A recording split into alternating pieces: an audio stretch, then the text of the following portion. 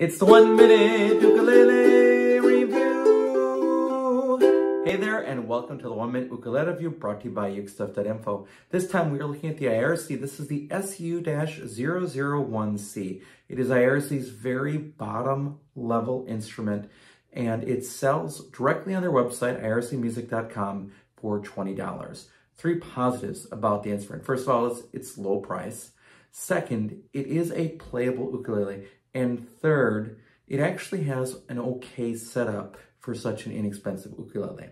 Now, on the negative side, first and foremost, it really shows in its construction that it is not really a high quality ukulele. Second, it does have sort of a tubby tone as you play it. And third, you're going to have to wait for it to be shipped. If you want to know more about this instrument, you can see the full uke review at youtube.com slash ukestuff.